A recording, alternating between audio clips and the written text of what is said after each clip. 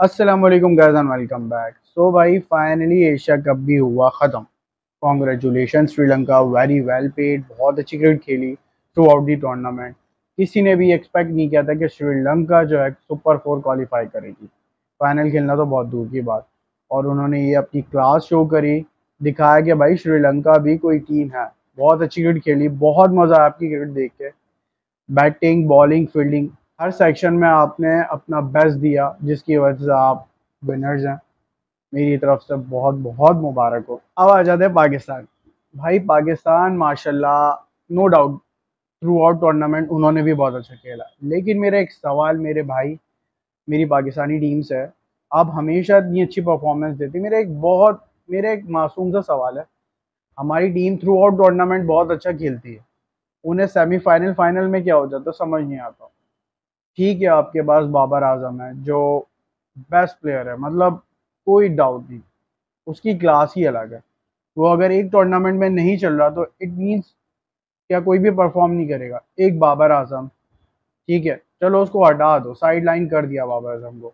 अब आ जाते हैं रिजवान। रिजवान भाई हर मैच में परफॉर्म करें ठीक है यार, वो थोड़ा स्लो खेलता है, लेकिन वो ज़िम्मेदारी से खेलता है।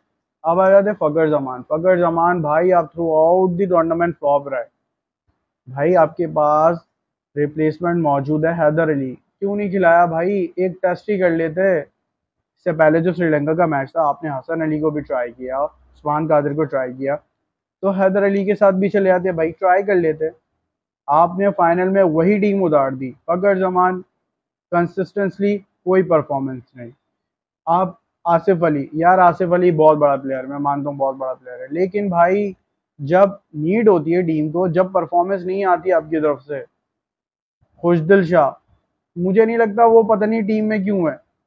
कोई छोटी मोटी टीम्स के अगेंस्ट ने तीन चार छक्के मार दिए तो वो बड़ा प्लेयर है। नहीं भाई, आप चांस दो, जब तक आप किसी नए प्लेयर को चांस नहीं दोगे, आप इसी तरह टॉप उधर हो गए या सेमीफाइनल में बाहर हो गए या फाइनल में बाहर हो गए आपके पास रिज़र्व मौजूद है रिप्लेसमेंट मौजूद है तो आप उनको चांस दो, उनको ज़ाया कर रहे हो। इस तरह तो आप वही वाली पुरानी पाकिस्तानी टीम बना देंगे कि भाई मेरे पास ये ग्यारह प्लेयर्स हैं, सोलह, बीस लेके जाऊँगा, लेकिन खिलाऊँगा मैं यही ग्यारह टीम तो क्या फ़ायदा भाई ऐसी टीम का?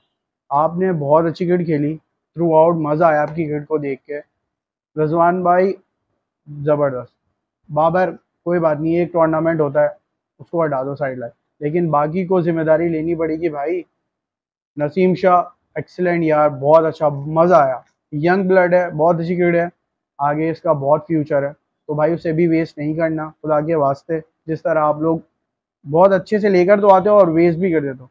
पाकिस्तान के पास बहुत टैलेंट है। उस टैलेंट को वेस्ट ना करो यूटिलाइज करो। नवाज़ से मुझे समझ नहीं आई क्यों एक ओवर कराया। नवाज़ का भाई चार ओवर तो लाजमी बनते थे। आपने पता नहीं एक ओवर क्या मतलब कैप्टनसी पे मुझे क्वेश्चन मार्क नज़र आया। और किसी ने कोई सवाल नहीं किया। समझ नहीं आ रहा क्यों नवाज़ कहाँ गायब रहा। पूरे मैच में सिर्फ़ एक ओवर, वो भी सोलहवा, सत्रहवा ओवर कराया उससे। तो बाबर भाई, हर दफ़ा डिसीज़न सही नहीं होते हैं। पूछ लिया करें अपने सराउंडिंग के जो लोग हैं। हो सकता है आपको कुछ गाइड कर दें। तो भाई इन Pakistan T twenty World Cup जीतेगा।